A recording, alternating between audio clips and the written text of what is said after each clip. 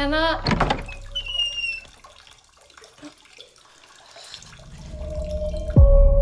Jelasin ke gue.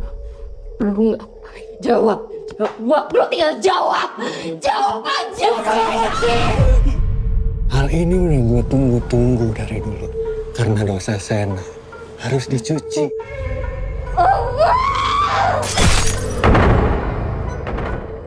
Ngapain ke sini? Saya mau minta maaf. Nunggu semuanya berantakan dulu, baru mau datang.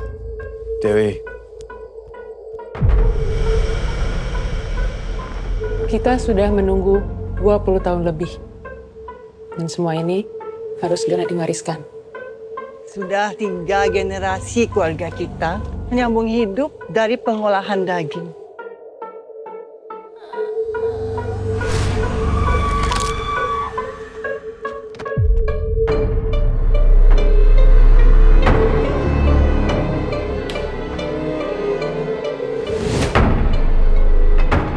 Banyak yang iri dengan keberhasilan Ibu Gayatri dan Pak Agung.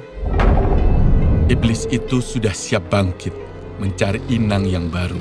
Dan siapa pun yang mewarisinya, semua keinginannya akan terwujud. Yang wujud seluruh jiwa.